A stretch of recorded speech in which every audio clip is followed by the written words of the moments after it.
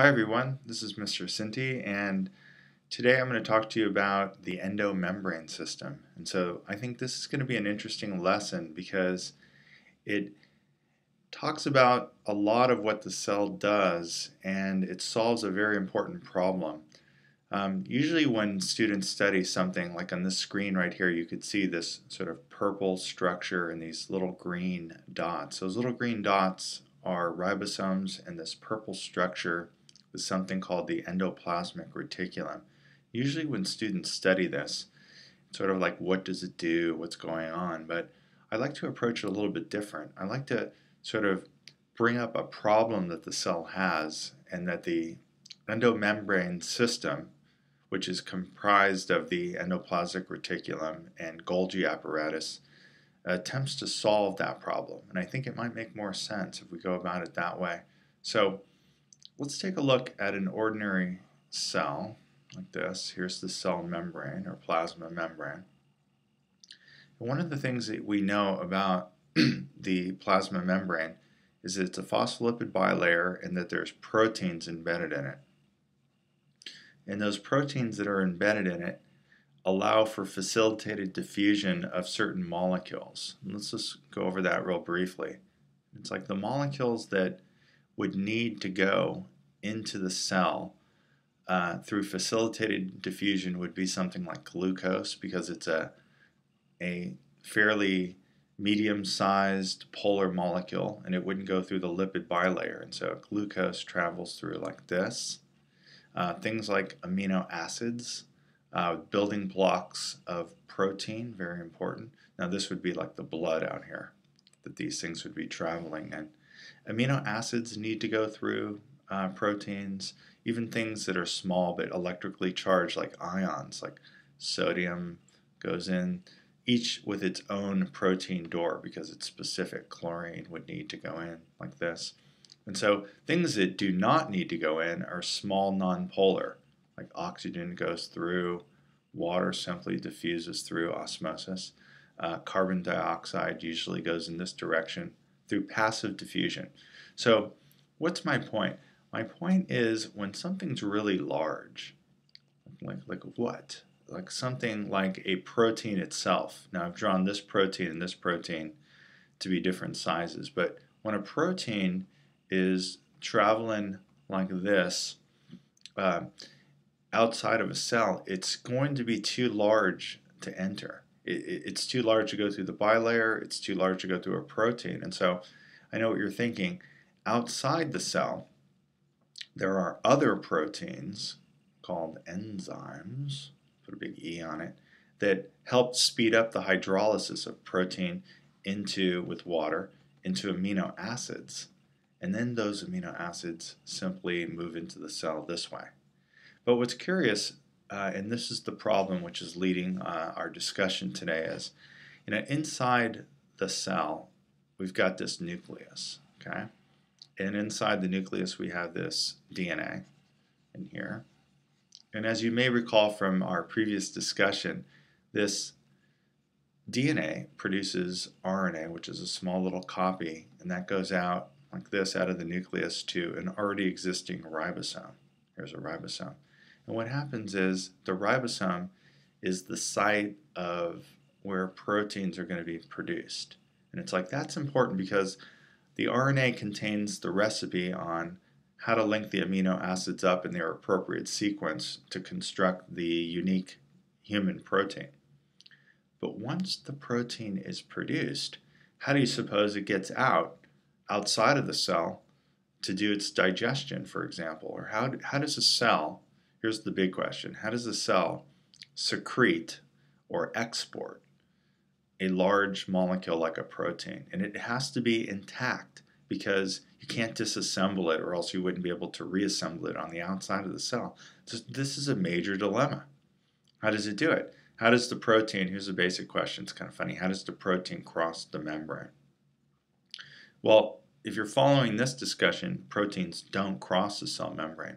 But they've got to because cells obviously secrete proteins. Uh, there's specialized cells and glands that secrete lots of enzymes and hormones. So how does the cell do it?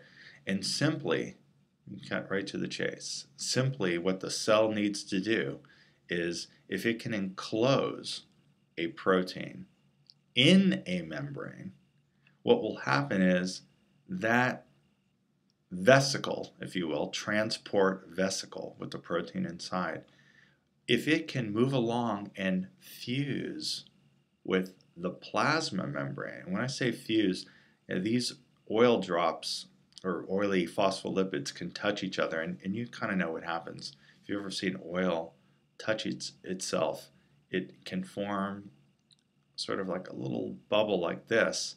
And what will happen is anything inside, the contents inside, will be exported to the outside.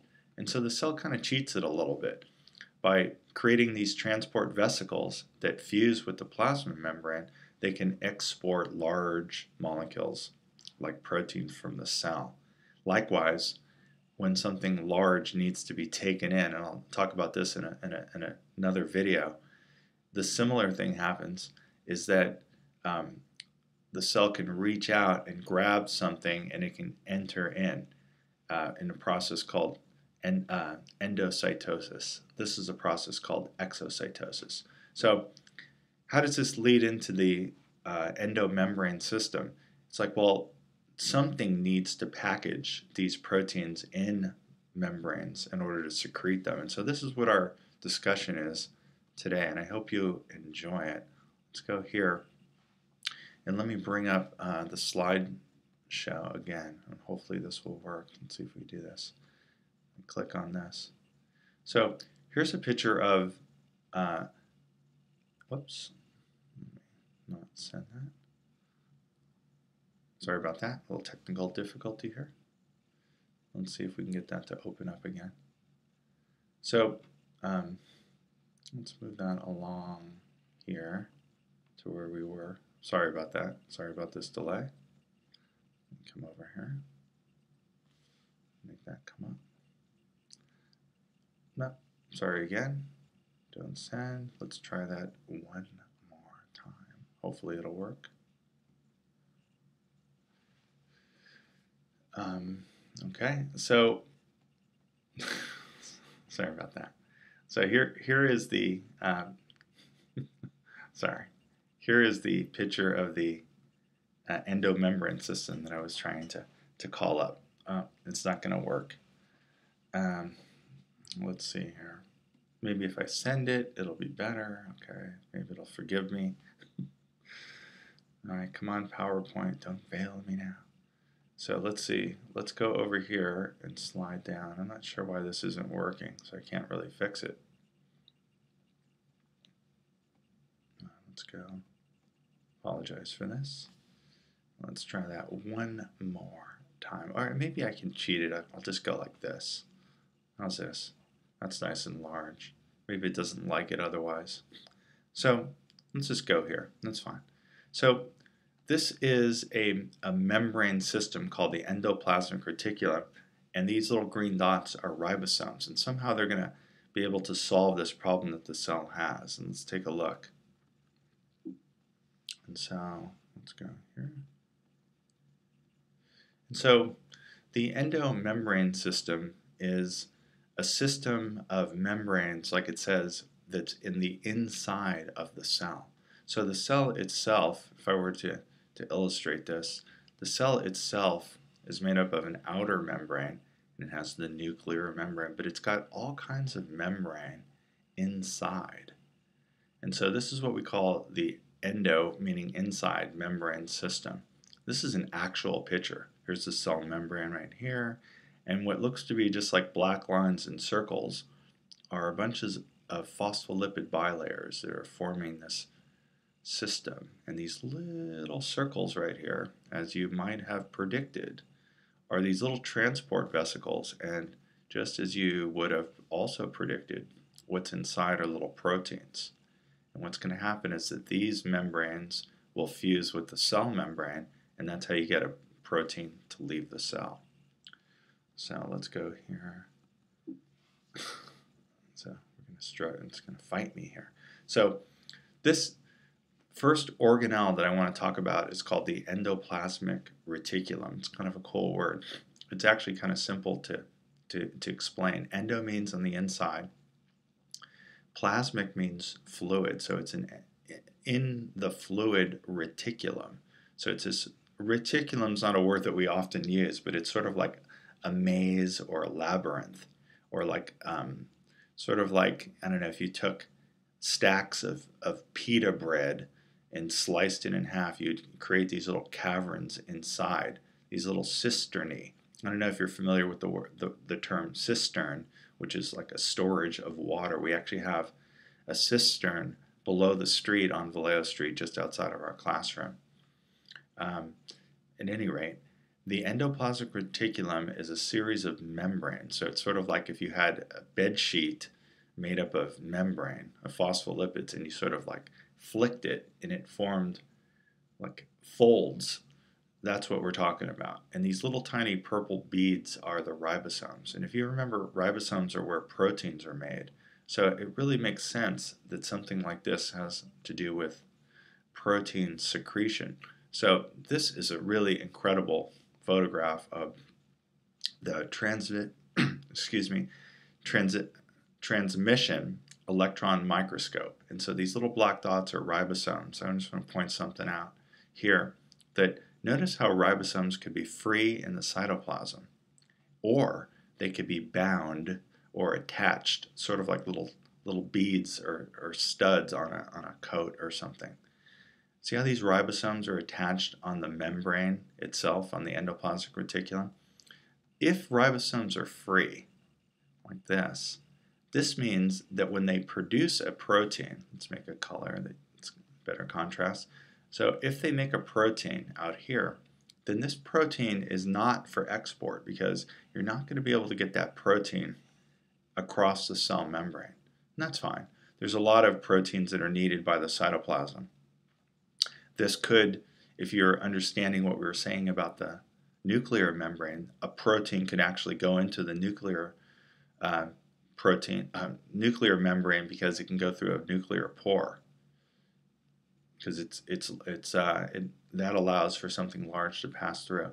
But if a protein is produced on a bound ribosome, it's produced inside the endoplasmic reticulum. So it goes on inside.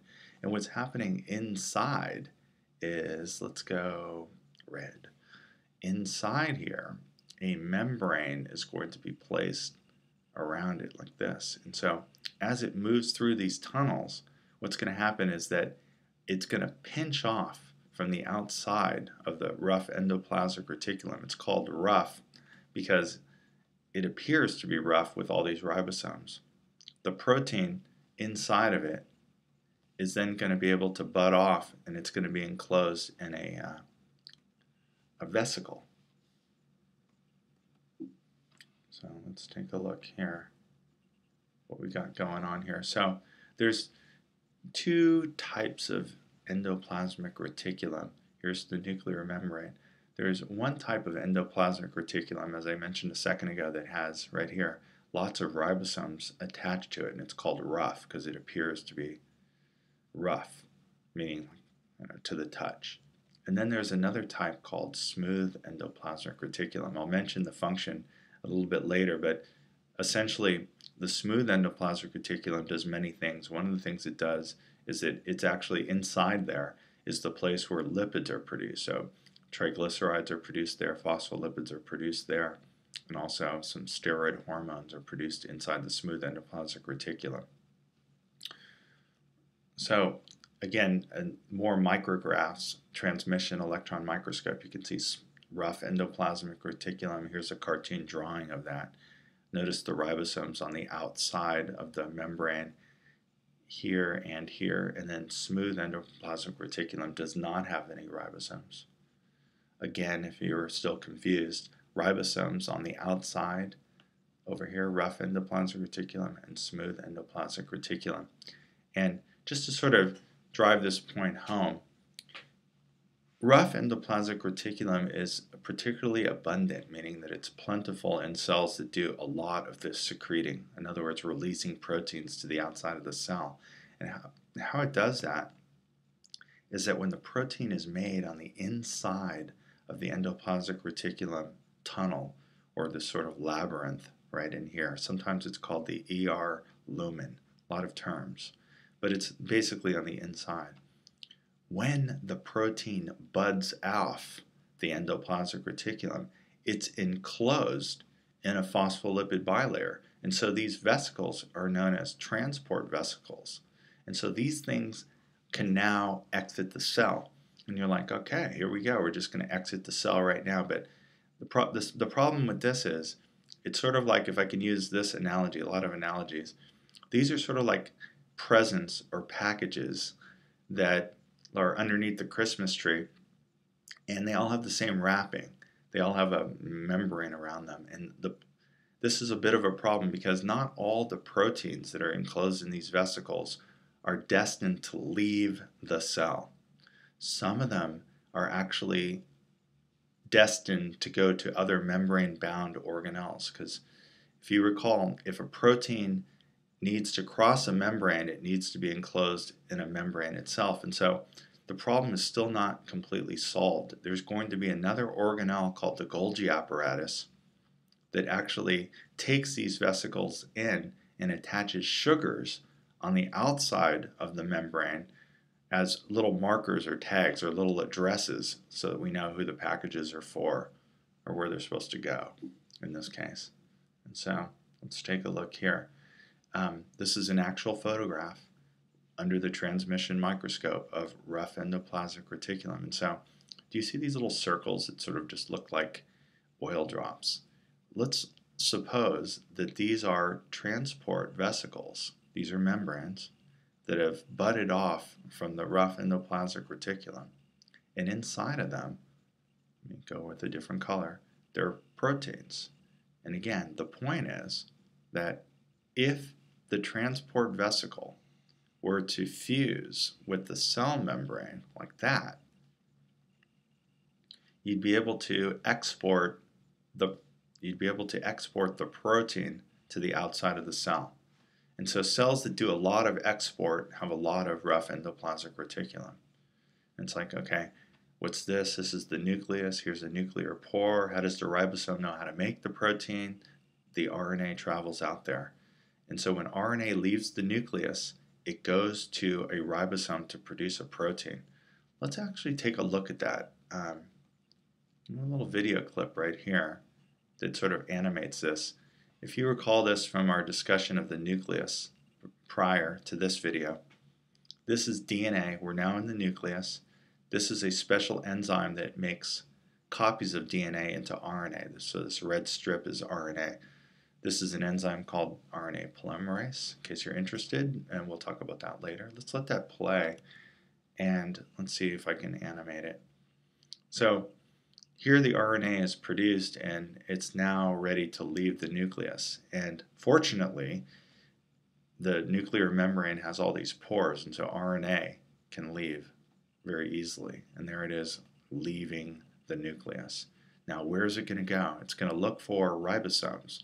Now, ribosomes, like shown right here, are found all over in the cytoplasm. Those are the free ones. But they can also be attached to the big blue thing. This big blue thing is the endoplasmic reticulum. You're like, what is it? It's it's membrane, but it's hollow inside, and these ribosomes are attached to the outside, giving it kind of a furry, rough appearance, as you can see. And so look at this. Here's the ribosome, and it's making this sort of fluorescent purple protein. And when that attaches to the outside, whoops, let me back that up a little bit.